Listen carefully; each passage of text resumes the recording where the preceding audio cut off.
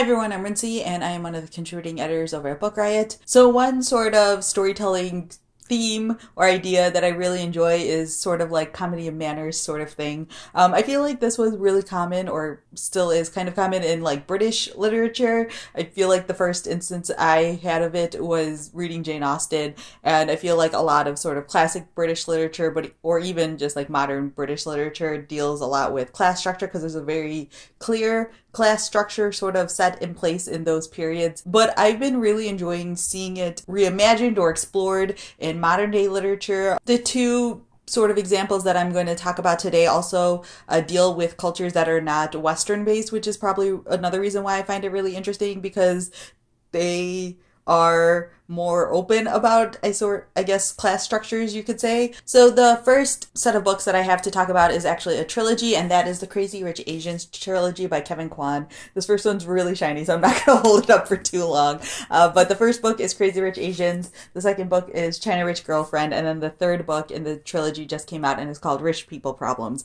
I love these books so much. They're so much fun. And Crazy Rich Asians is actually being made into a movie that's supposed to come out in 2018, I believe, which I'm super excited about. But yeah, this was sort of like my first example of like a modern day version of Comedy of Manners books. And it really reminded me of how much fun that these can really be. Uh, so Comedy of Manners I should probably explain what that means in case you haven't heard that phrase before, is basically like a satirical look at upper classes of society. And so a lot of what is explored in these types of books are the traditions and the sort of like rules of living in an upper class society and how ridiculous some of those things can really be sometimes. In the Crazy Rich Asian series, uh, you are mainly following a couple of different families. Uh, the two main characters are Nick and Rachel. Uh, Nick comes from a really rich, powerful, influential family in Singapore, and Rachel was born here in the United States. So it's sort of this perfect combination of an outsider looking in on this crazy world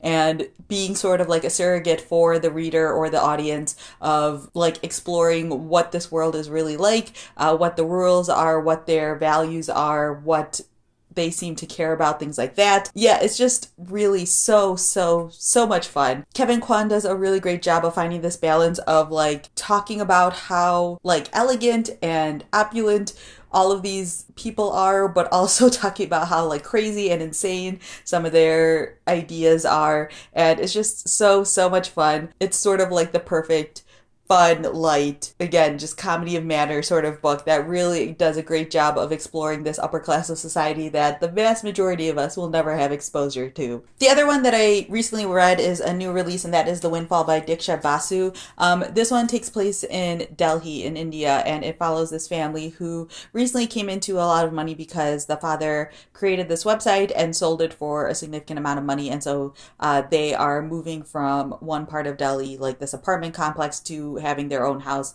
in a much richer part of Delhi. And it's again just a really fun read it explores a lot about the idea of like uh, keeping up with the joneses sort of society uh, wanting to have the best things possible and looking over your shoulder or looking over your neighbor's fence to see what they have and then figuring out how you can sort of like top that or at least meet it again like i said this family moves from an apartment complex to this house so part of it is sort of them you see their thinking and what they perceive to be what rich people do and then you see sort of like the rich people in their new neighborhood and what they actually do and how they perceive things might be different. Um, there was like one scene in here that that was really great where the family the father of the family was going out to buy luggage and he saw that the luggage with the like name brand logo over it. I don't think it was Louis Vuitton, but it's something like a similar type of brand. Like the one with the logo all over it was cheaper than the version that was just like all black and you couldn't see the logo at all. And the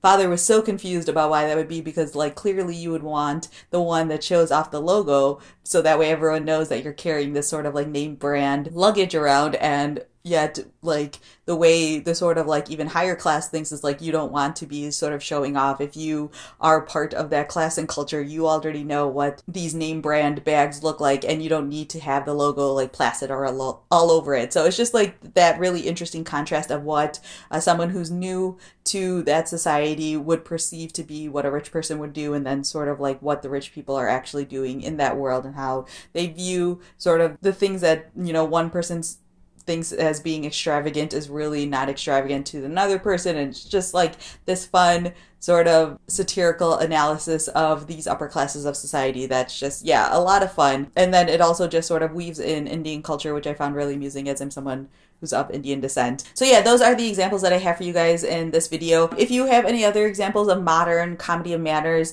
uh, I would love to hear about them down in the comment section below, especially if they take place in like sort of other countries or other cultures that might not be as like well represented in this genre, like if it's not in English is basically sort of comedy of manners. I would love to hear about it. But you can leave your English ones that, down in the comment section as well, because I think especially modern day takes on it are really interesting to me since we don't think about class system quite as much, or we at least like to pretend that it doesn't exist quite as strongly in our modern world, but it definitely does. Uh, so yeah, leave those suggestions down in the comments below, and I will see you guys next week. Bye.